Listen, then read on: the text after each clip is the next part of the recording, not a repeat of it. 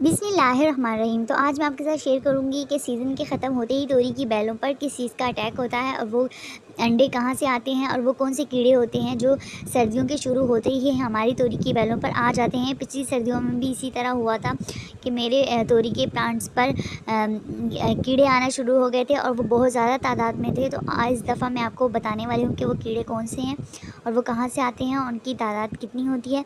चूँकि इस दफ़ा गर्मी बहुत ज़्यादा है तो आप देख सकते हैं कि मेरी तोरी के बैल के पत्ते सूखना शुरू हो गए हैं गर्मी की वजह से हीट की वजह से। चलो मैं पहले आपको तोरी की बैल के सीड दिखाती हूँ कि वाइट तोरी की बैल के सीट किस तरह दिखते हैं और ब्लैक तोरी के सीट किस तरह दिखते हैं। तो ये देख सकते हैं, वाइट तोरी के सीट वाइट होते हैं, ब्लैक तोरी के सीट ब्लैक होते हैं। चलो अब मैं दिखाती हूँ तोरी की बैल पर कीड़ों के अंडे। ये आप देख सकते हैं, अगर गौर से देखेंगे तो आपको वाइट वाइट कलर के डॉट्स नज़र आएँगे। और ये बहुत ज़्यादा तादाद में होते हैं और ये तकरीबन हर पत्ते के नीचे होते हैं। अगर इसे आप सूखे पत्ते के में देखेंगे तो आप देख सकेंगे कि ये अंडे होते हैं।